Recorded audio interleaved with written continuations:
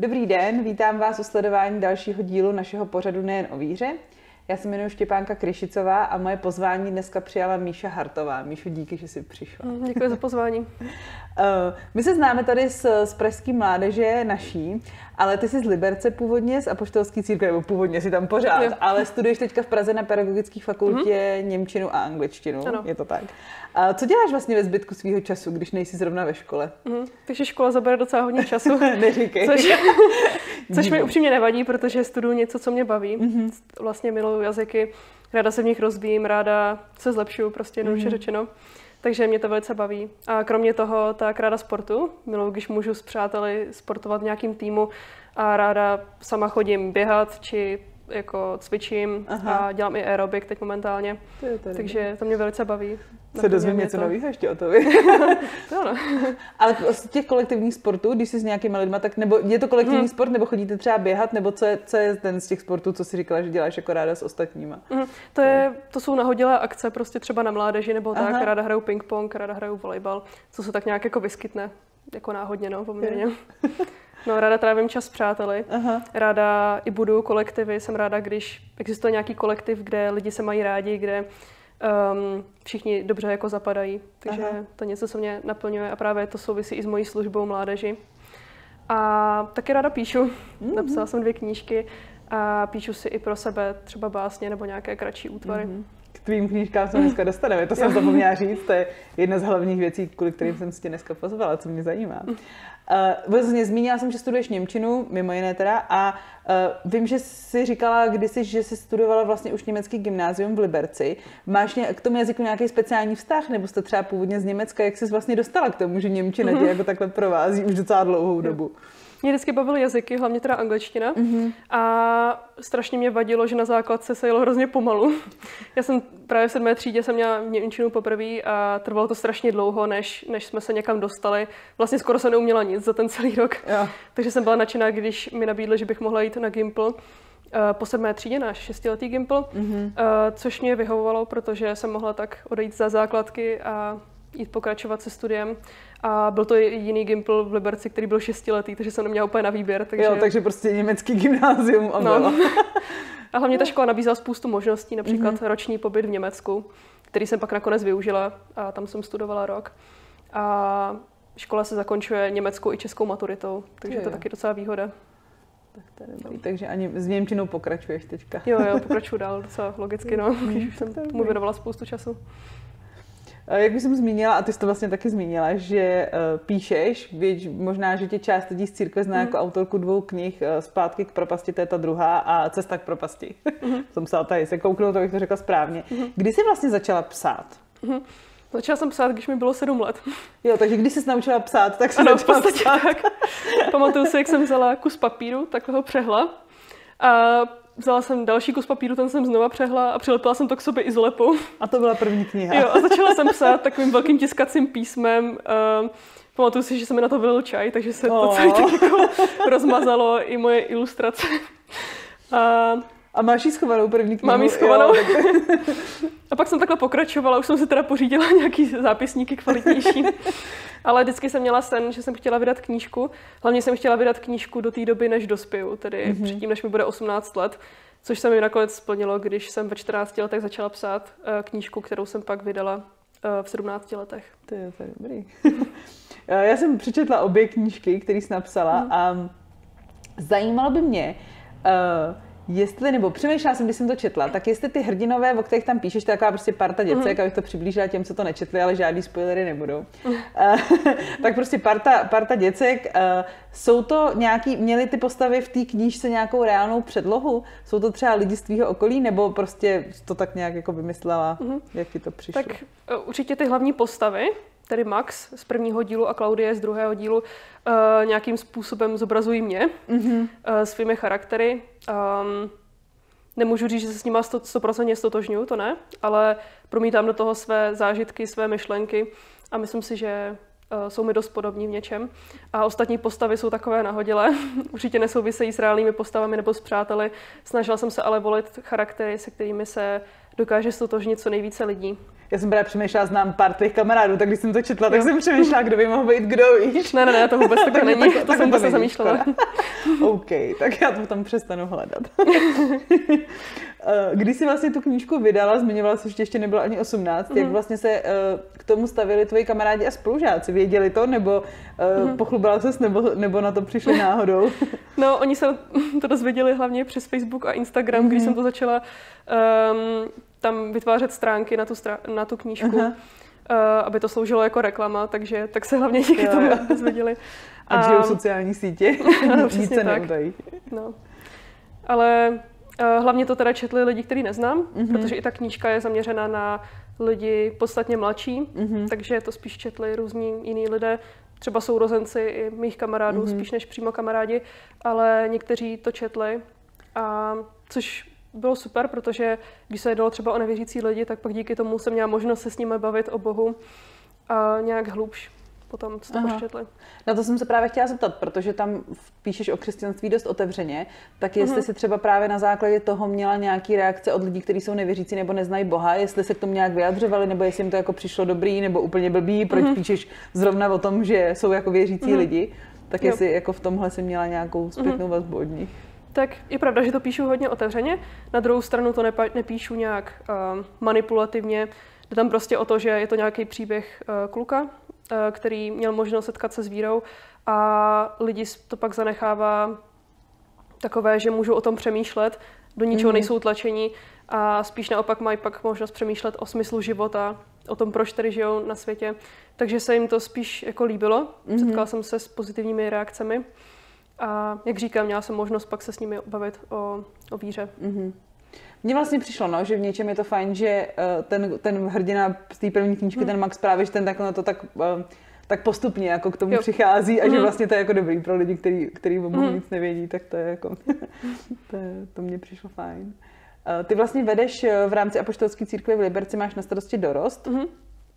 Tak co bys řekla z tvýho pohledu nebo z tvých zkušeností, co jsou vlastně problémy, které trápí ty dnešní teenagery, mhm. ty, ty dnešní dorostáky vlastně? Ano.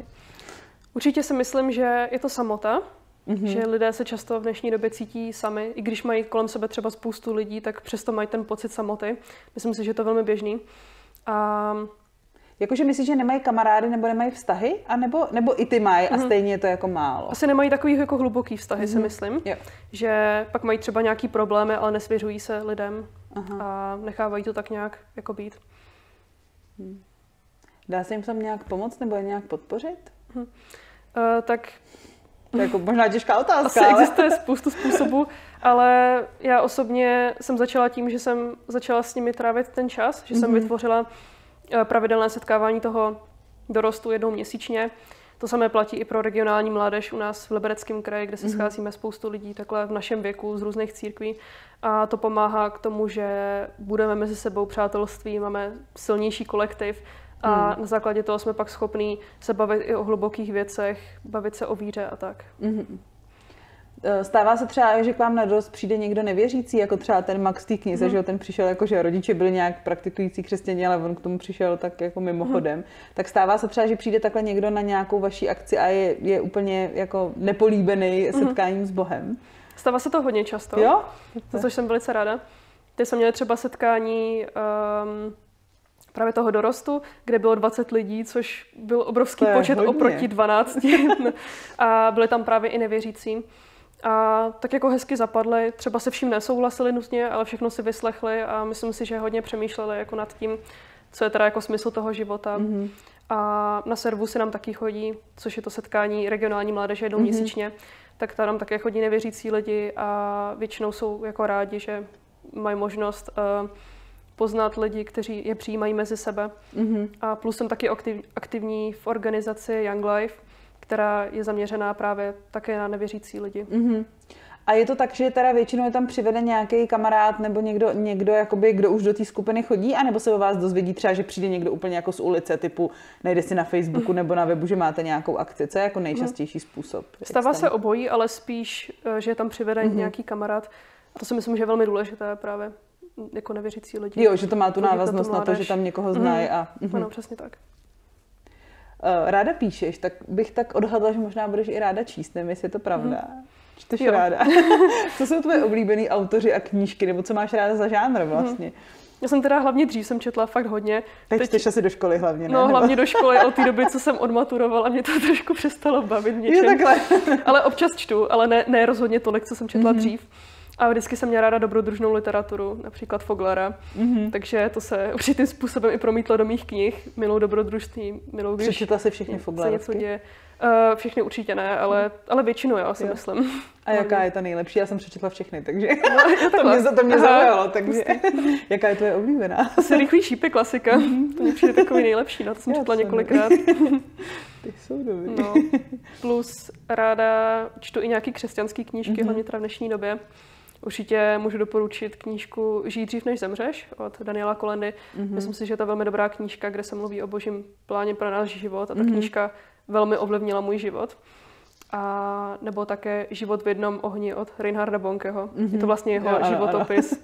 který má sice 700 stran, ale člověk to přečte tak rychle, že by si skoro přál, aby tam bylo těch stran víc, což, což je úžasný. Což není úplně standardní, že 700 to stran ne, no. to má tak temno od Jiráska, to se jo, moc no. To čte to fakt krásně, no. A pak ještě také modlitební kruhy mm-hmm. od Marka Battersona. Teď to, teď to vyšlo docela nově v Česku, mm-hmm. tak to čtu momentálně. Tam se mluví o modlitbě, o vytrvalosti v modlitbě a to je taky hodně dobrá mm-hmm. knížka. Čteš česky nebo čteš i zahraniční nějakou literaturu? Mm-hmm. Uh, dřív jsem četla hodně česky a teď ráda čtu hlavně v angličtině, mm-hmm. abych, abych si zlepšovala právě jo, i ten jo. jazyk. Plus jsem přečetla i několik jako německých knih, ale to jsou spíš takové jako romány běžný. Jo, jo. Nic křesťanského, no. A co jsou tvoje oblíbené části v Bibli, v knize knih? tak určitě mám ráda Evangelia, mm-hmm. protože jsou takový nejsrozumitelnější, nejjednodušší. Asi nejradši mám Lukášovo Evangelium, mě přijde takové nejlogičtější, plus i Janovo Evangelium je taky, taky moc hezký. A ze starého zákona mám ráda Izajáše, i když ze začátku je komplikovaný, tak pak se tam často mluví o různých božích zaslíbení, které jsou pozbudivý. To je dobrý. A třeba tvoji dorostáci čtou rádi Bibli, nebo je to pro ně právě kniha, která je plná jako nějakých nesrozumitelných částí? Jak to vlastně mají? Mm-hmm.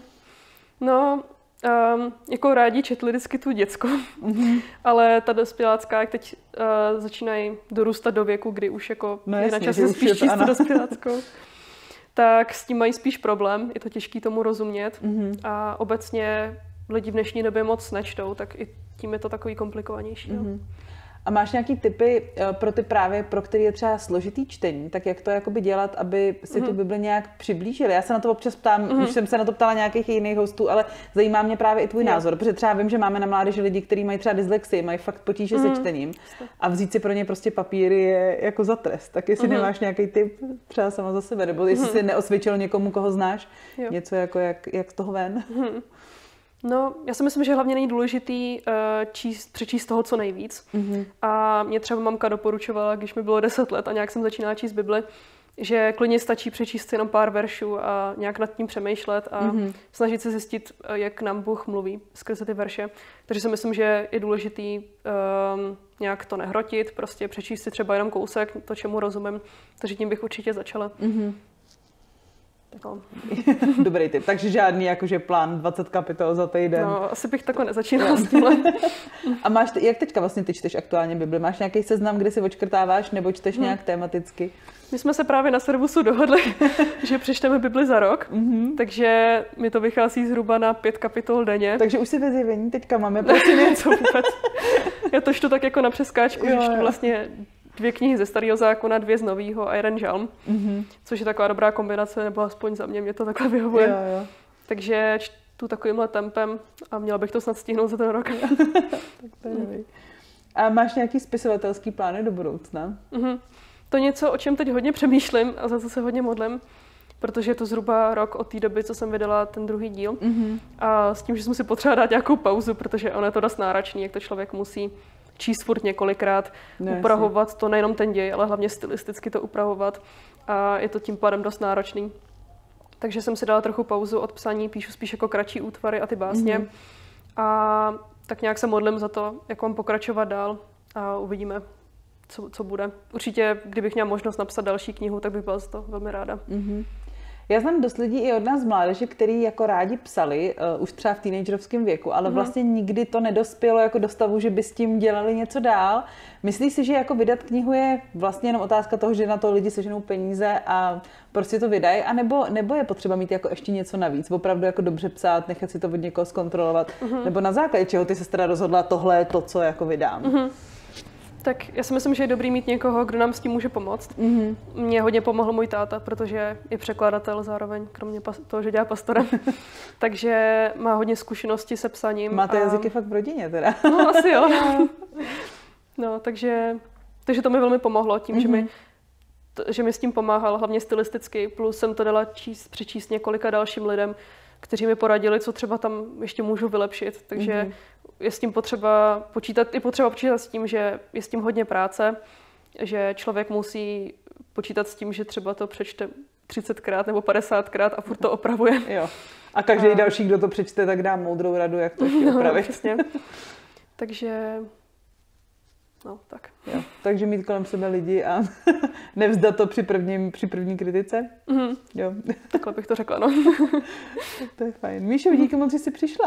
A Taky děkuji. Že jsi byla ochotná tady vyprávět o, svým, o tom, co děláš. Taky děkuji.